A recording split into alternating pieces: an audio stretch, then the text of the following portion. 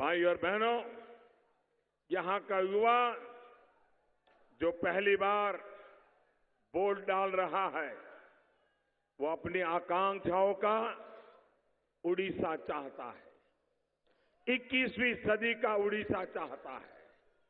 वो अब सवाल पूछ रहा है कि आखिरी ऐसा क्यों हुआ कि देश के सबसे समृद्ध राज्य में इतनी ज़्यादा गरीबी क्यों है?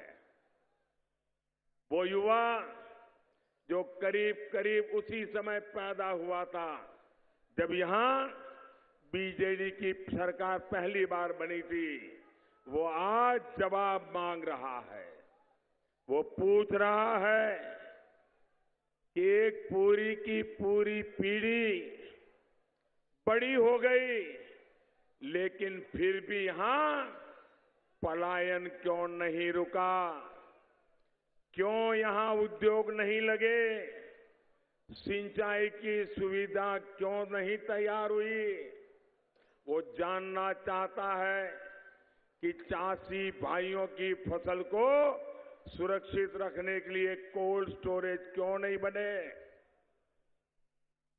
उसके मन में सवाल है कि ओडिशा के सबसे पुरानी नगर पालिका होने के बावजूद केंद्रपाड़ा, सड़क, सीवर, बिजली, पानी ऐसी मूलभूत समस्याओं के लिए क्यों जूझ रहा है? भाइयों बहनों, समस्या प्राथमिकताओं की है। यहाँ की सरकार की प्राथमिकता में विकास नहीं है। सिर्फ़ और सिर्फ़ सत्ता है। साल दर साल चुनाव होते रहे, आप उन्हें वोट देते रहे।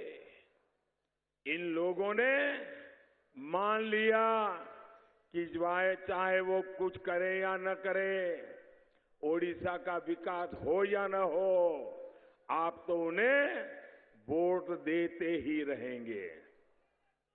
साथियों, ओडिशा में इसलिए बदलाव ज़रूरी है, आपको सिर्फ़ सत्ता बदलने के लिए बदलाव करना है, ऐसा नहीं है। आपको एक बेहतर विकल्प, अपने बेहतर भविष्य के लिए सोचना है, इसलिए भाजपा को वोट करना है।